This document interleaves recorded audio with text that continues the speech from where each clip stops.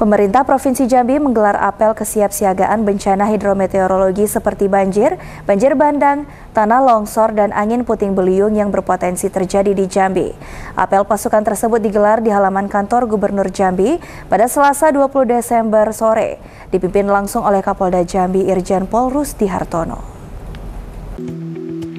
Kapolda Jambi Irjen Pol Rusdi Hartono selasa 20 Desember memimpin langsung apel kesiapsiagaan bencana hidrometeorologi yang diikuti oleh seluruh instansi dan institusi serta komponen masyarakat mulai dari Polri dan TNI, Basarnas, BPBD, Damkar, Dinas Pekerjaan Umum, Dinas Kesehatan, Satpol PP dan personil pramuka serta orari.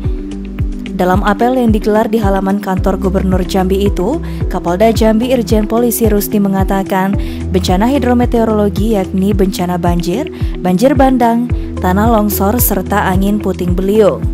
Menurut Rusdi, bencana tersebut berpotensi terjadi di Jambi karena berdasarkan perakiraan BMKG Jambi dalam dua bulan ke depan, Desember hingga Januari akan memasuki puncak musim hujan.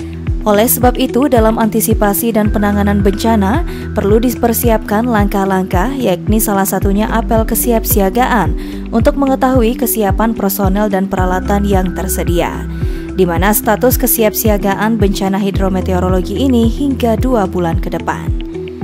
Rusdi juga mengingatkan penanggulangan bencana bukan hanya menjadi tanggung jawab satu instansi atau institusi saja, tapi menjadi tanggung jawab bersama. Untuk itu, maka sinergitas yang baik dan terukur juga sangat diperlukan guna penanganan bencana yang cepat dan baik. Kita sudah siap dari sisi sumber dayanya, baik personil maupun peralatan yang ada, insya Allah ya, Jambi siap untuk menghadapi seandainya ada bencana dari hidrometeorologi itu sendiri. Berapa siap, personil ya. Pak yang kita siapkan Pak? Kita siap semua, jumlah keseluruhannya ada hampir 1.700 ya, yang ada di seluruh Jambi ini seluruh kabupaten kota ini bisa kita gerakan.